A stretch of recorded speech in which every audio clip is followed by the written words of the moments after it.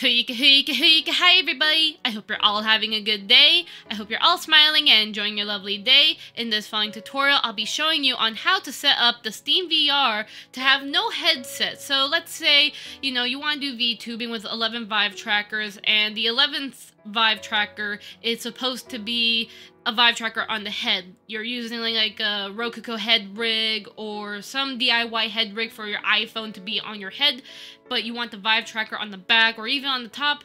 Um, so instead of having a VR headset, it's Vive. This is pretty much how you will be able to do that.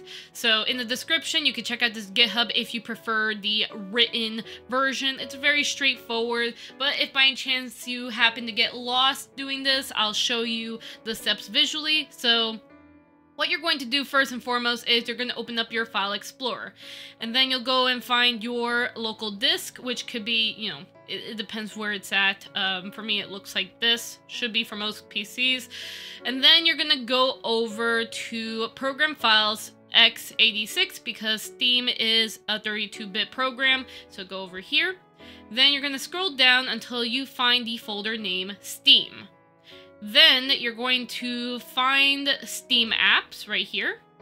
And then you're going to go into Common. And then you're going to choose Steam VR. And then there are two files that we will need to adjust. So let's start off with the null driver. So go over to the drivers folder right here and then find the null file right here. Then you're gonna go over to resources, then settings, and then over here, you'll have your settings. Now, for me, in case you're wondering what the frick are these two settings here, these are my backup settings because uh, before you do any editing to the files, please make a backup of your original settings. I have one for VR chat because doing all these edits is going to prevent you from using your headset for VR chat. You don't want that. Uh, but if you're VTubing, again, for VTubers, if you're if you have no VR chat, then uh, you don't need a backup. But if you're doing VTubing and VR chat, you have to back this up. So um, simply you could select the default here, do Control C and then Control V, and then just rename it to how I have it here, like VR chat. That's your original file. And then for VTubing, uh, you can make a a you know, a separate one. So here's how uh, my settings look like for this one. So for, uh, this is pretty much again, uh, for the Steam VR stuff here for no headset, this is how the settings look like. Pretty much you'll make it where the enabled is true. That's pretty much it.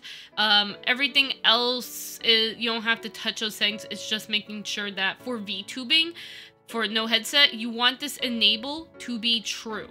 So keep that in mind. And then after uh, you do that, again, make sure to keep in mind that when you're using for VR chat to swap the settings out, you could do, um, so what I do to swap it out is that I copy from the VR chat one here, let's say, so do Control C, Control V, and then I pretty much delete my default VR settings, delete that, right click, and then I would name this to default, so pretty much overriding the settings if I want it for VR chat. If it's for VTubing, I simply do the same thing, uh, copy and paste for the VTubing, delete the default, and just rename it to the word default. So whatever is named default, that's what SteamVR is reading. The next thing, besides the null driver, we need to go back um, to SteamVR here, and we need to go to resources. And then, uh, whoops, and then we're gonna go over to settings right here. Click on that. And then over here, you'll be able to see, you know, your files. You should pretty much just see these two. I'll go ahead and yoink this one.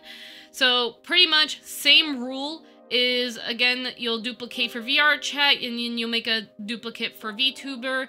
For my case, here's how the one for non-Steam, you know, non-headset. This is for my VTubing setup right here. It looks like this. So the settings that you need to keep in mind of is that for required head mount right here, this needs to be false. For VR chat, has to be true, obviously. Um, so for VTubing, required head mount has to be false force driver needs to be null, like this. Um, so it should look like you know, these three settings right here need to look like this on the screen. So copy that. And then you'll need to make sure that all the way over here for the um, multiple drivers. Where are you? Right here. Um, activate multiple drivers. This can also, FYI, this can probably help you out if you experience any base station issue where your base stations are not connecting to your PC. It helped me out actually. So uh, make sure that this is set to true. So that way your sub can work.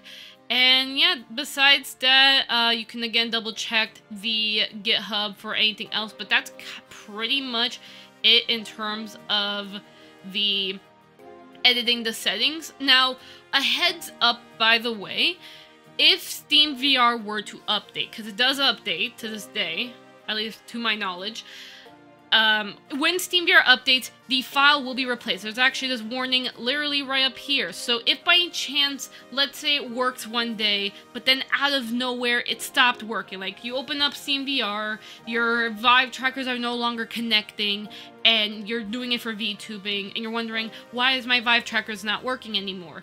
That's probably because SteamVR had an update, and you need to update this file again. So keep that in mind. That's the reason why I recommend having backups. That's why I have my VR chat backup and my VTubing backup.